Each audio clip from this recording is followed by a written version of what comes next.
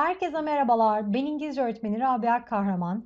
Ee, bildiğiniz gibi Milli Eğitim Bakanlığı her ay e, belli aralıklarla çalışma soruları yayınladı. Bu ayda belli il Milli Eğitim Müdürlüklerinin yayınlamış olduğu sorular yayınlandı. Bu videoda da Afyonkarahisar'ın İngilizce sorularına bakacağız beraber. Haydi hemen başlayalım. Şimdi birinci sorumuz birazcık uzun bir soru. Bu yüzden şöyle önce aşağı inip soru köküne bakıyorum. Çünkü önemli olan soru kökü. Which main course should Amelia choose to prepare? Hangi ana yemeği Amelia hazırlamayı seçmeli diyor. Ana yemek hazırlıyoruz. Dikkat. Ana yemek. Şimdi bak çıkıyorum hemen yukarıya. Demiş ki Amelia invites some of her friends for dinner tomorrow. Yarın akşam yemeğine Amelia birkaç tane arkadaşını çağırmış. She decides what to prepare for soup, salad and dessert. Çorba, salata ve tatlı için ne hazırlayacağına karar vermiş. But can't find the main course. Ama ana yemeği bulamamış. She knows that one of her friends isn't fond of meat and meat products. Hmm, işte anahtar nokta burası arkadaşlar. Arkadaşlarından bir tanesi isn't fond of meat and meat products. Yani ete ve et ürünlerine düşkün değilmiş, sevmiyormuş. So she searches the internet and finds these recipes ve bu ne yapmış? İnterneti gezmiş ve bu tarifleri bulmuş. Şimdi dört tane tarif var elimizde. İçeriklerine bakıp hangisini yapacağına karar vereceğiz. Birincisi rice soup demiş. Pirinç çorbası. Zaten çorbaya karar vermiş. Ana yemek arıyordu. Bu yüzden rice soup'u zaten direkt eledim. İçine bakmama bile gerek yok. Geldim. Japanese style noodle ingredients. Japon stili noodle. Noodle arkadaşlar erişte diye çevirebiliriz. Ee, ama bizim Türk eriştesinden birazcık daha farklı olarak spagetti makarnaya benziyor. Fakat içine konulan şeyler birazcık daha farklı olduğu için ismi de farklı. Noodle diye de kullanabilirsiniz. Erişte diye de tam çevirebilirsiniz. Şimdi bunun malzemelerine bakıyorum. Vegetable oil, sebze yağı, garlic, sarımsak, ginger, zencefil, soy sos, soya sosu, pasta, makarna, chicken, hmm, tavuk. Şimdi meat dediğimizde aslında aklımıza kırmızı et daha çok geliyordu. Fakat bazen bu meat et kategorisine beyaz eti de alıyor, balığı da alıyor, işte kırmızı eti de alıyor, hepsini alıyor. O yüzden bu e, bir şey dursun bakalım. Çünkü burada bir chicken var. Bu bir dursun. İndik pizza ingredients. E, sliced cabbage. Cabbage ne demek? Lahana. Carrot, havuç. Tomato, domates. Grated cheese, e, rendelenmiş peynir. Red pepper, kırmızı biber. Green pepper, yeşil biber. Burada herhangi bir arkadaşlar hayvansal ürün var mı? Ya da et, et ürünü var mı? Yok. Peki ana yemeğe girer mi pizza? Evet girer. O zaman bu bana uyuyor şu anda. Green beans'a bakıyorum. Yeşil fasulye. Butter, tereyağı. Green beans, yeşil fasulye. Ve steak demiş. Steak ne demek arkadaşlar? Biftek demek. Bu bir et ürünü mü? Evet. O zaman bunu da eliyorum. İçlerinde ana yemeğe uyan ve içinde hiçbir şekilde et bulunmayan hangisi? Pizza. Ee, bu durumda seçeceği hangisi olacak? A şıkkındaki pizza olacak. Geldik 2'ye. Which of the following completes the text? Aşağıdakilerden hangisi metni tamamlar diyor. Bir konuşmamız var. Bakalım. Would you like to have dinner with me? Benimle beraber yemek yemek ister misiniz? Tomorrow evening is fine for me. Yarın akşam bana uyuyor. Your phone is always engaged. Telefonunuz her zaman meşgul. Get back as soon as possible. Ee, mümkün olduğunca çabuk bana ulaş diyor. Tamam. Ee, Sue, ha bu arada şöyle bir şey var aşağıda. Jack got messages from some of his friends diyor. Bazı arkadaşlarından Jack mesaj alıyor. Ee, all of them want. Onların hepsi ondan nokta nokta istiyor diyor. Victoria arıyor. Yemek yiyebiliriz diyor. Ama telefonun hep meşgul. Bana dön diyordu. Sue'ya bakıyorum. Seni I called you many times. Seni birçok kez aradım. But I can't reach. Ama ulaşamadım. Can you buy me a ticket for the theater? Tiyatro için bana bilet satın alır mısın? I decided to join you. Sana katılmaya karar verdim. Let me know on my mobile please. Telefondan bana haber ver lütfen diyor. Brett'e geldik. Hey, there is a concert of your favorite rock band on Wednesday night. Çarşamba gecesi senin senin favori rock grubunun bir konseri var. I'll buy the tickets tomorrow. Yarın biletleri, tickets biletleri satın alacağım. Your phone is busy. Telefonun meşgul. Phone me when you hang up your phone. Telefonunu hang up. Ne yaptığında? Açtığında beni ara diyor. Pardon kapattığında özür. Kapattığında beni ara diyor. Sonra Steven diyor ki I hope you are coming on the trekking tour in Grand Canyon this weekend. Umarım e, Büyük Kanyon'daki bu haftaki yürüyüş turuna geliyorsundur. I shall hear from you by 8 p.m. today. Bugün saat 8'e kadar senden haber almalıyım. I want to inform, inform you about important details. Önemli detaylarla ilgili seni bilgilendirmek istiyorum demiş. Şimdi hepsi ne istiyor bunların? Bir, to invite him to an event. Onu bir etkinliğe davet etmek istiyorlar. Şimdi Victoria evet etmek istiyor. Sue ee, sanırım e, Jack'in teklif ettiği bir daveti kabul ediyor. O yüzden bir teklif yani davete teklif ya bir yere invite etme durumu yok.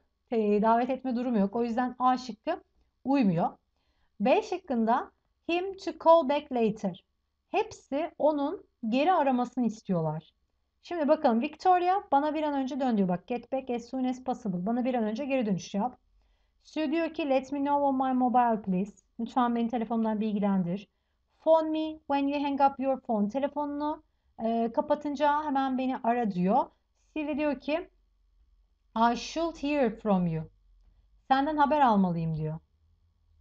Değil mi? O zaman evet hepsi onun ne yapmasını istiyor? Onu geri aramasını istiyor. B şıkkı e, cevabım oluyor arkadaşlar. C'de e, all of them want him to change an appointment. Appointment randevu. Bir randevuyu değiştirmesini mi istiyorlar? Hayır böyle bir şey yok. To ask for some help. Biraz ondan yardım mı istiyorlar? Hayır böyle bir şey de yok. Ama hepsi onun geri aramasını istiyor. O yüzden cevabımız Bursa. Ve geldik üçüncü sorumuza. Hemen soru kökümüzü okuyoruz. According to the text above, yukarıdaki metne göre Who is the best match with the sentence a true friend backs up his or her buddies when they call on him or her? Şimdi şöyle bir cümlemiz var. Diyor ki bize e, parçaya göre yukarıdaki parçaya göre e, kim diyor bu cümleyle en iyi şekilde best match uyuşuyor. En iyi şekilde uyuşuyor. A true friend backs up his or her buddies when they call on him or her. E, ona aradığında gerçek bir arkadaş ne yapar? Ona destek olur, destek çıkar. Yani ona ihtiyacı olduğunda ona destek çıkar. Buna uyan kişi kim? Yani arkadaşına destek çıkan birisi olması gerekiyor. Değil mi? Yardım eden birisi olması gerekiyor. Bakalım şimdi. Hello, my name is Serena. I am an 8th grade student in New York. Merhaba, benim adım Serena. New York'ta 8. sınıf öğrencisiyim. I am fond of hanging out with my school friends. Arkadaşlarımla takılmayı seviyorum. I have four close friends at school. Okulda dört yakın arkadaşım var. Close friend neydi? Yakın arkadaş. They are Harry, Jenny, Logan and Ned. They have different personalities. Harry helps everybody, especially in their bad times when they need him.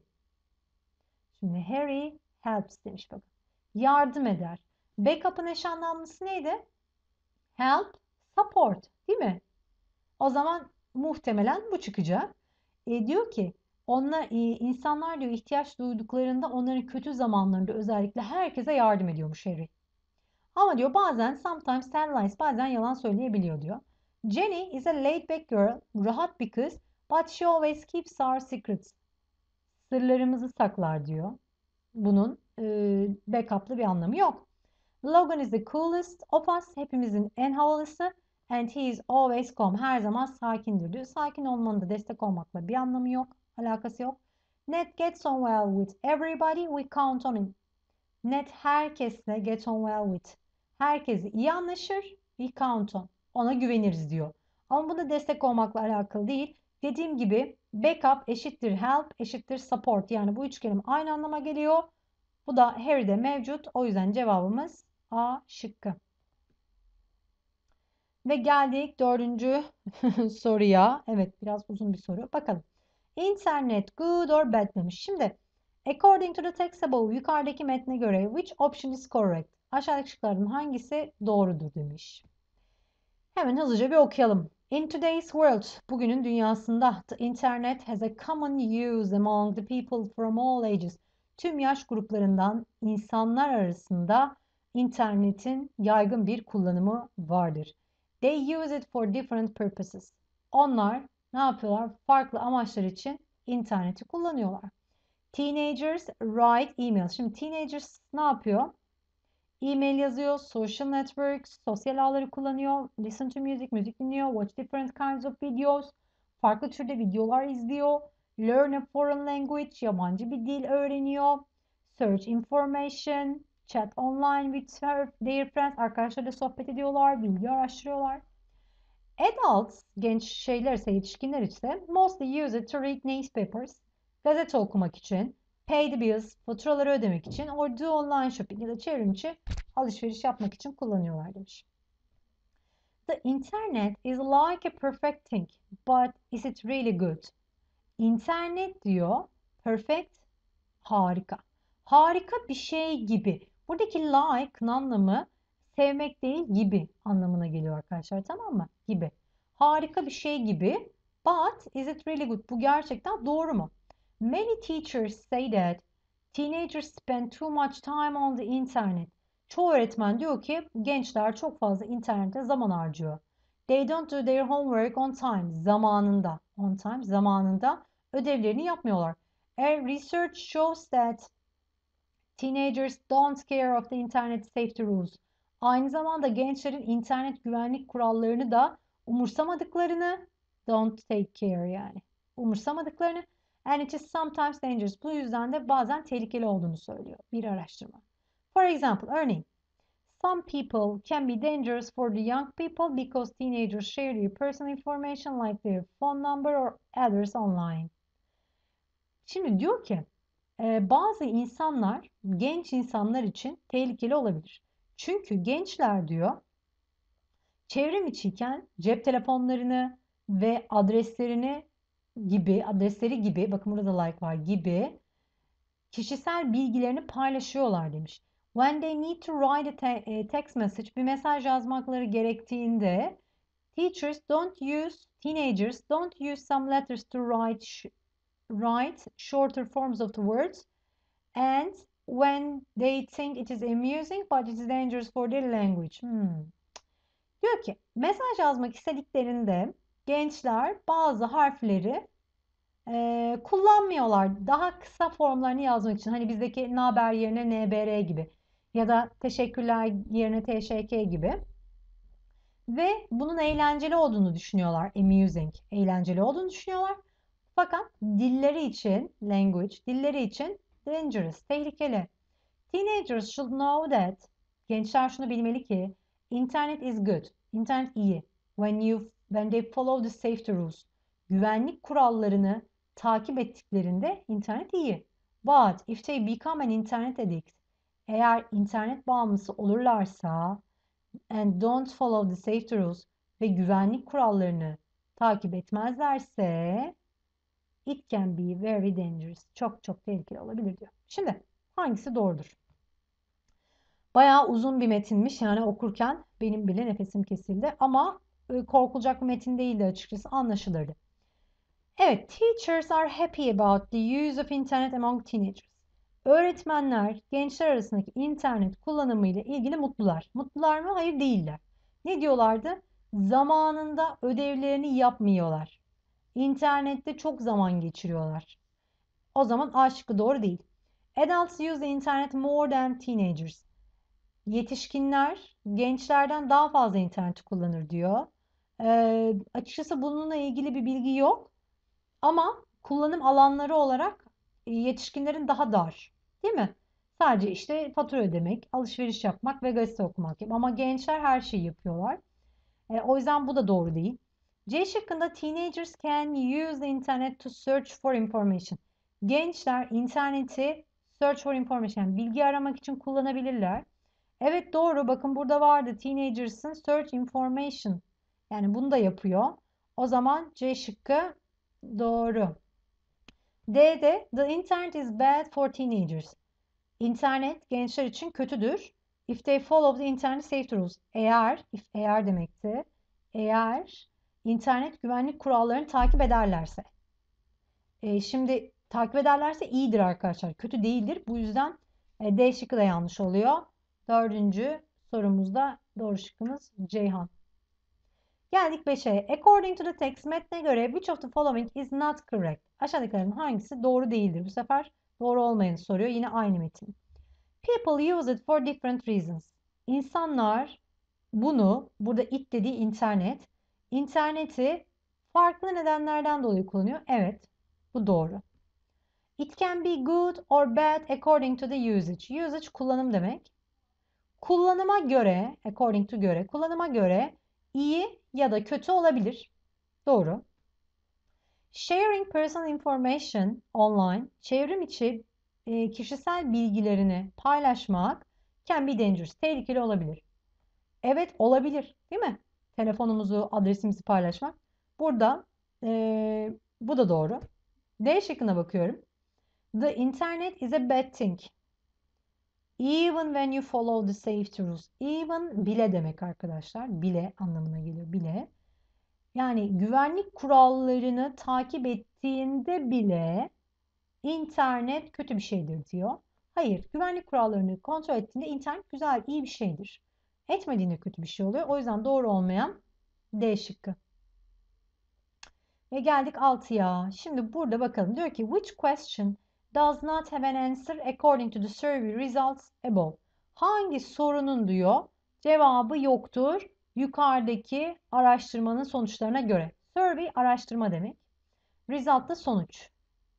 Yukarıdaki, above da yukarıdaki demek. Yukarıdaki araştırmanın sonuçlarına göre, according to göre hangi sorunun cevabı yoktur? High school preferences of teenagers in Afyonkarahisar. Hmm. Afyonkarahisar'daki gençlerin lise tercihleri demiş. Researchers conducted a survey in Afyonkarahisar among 1000 secondary school students about the preferences of uh, teenagers.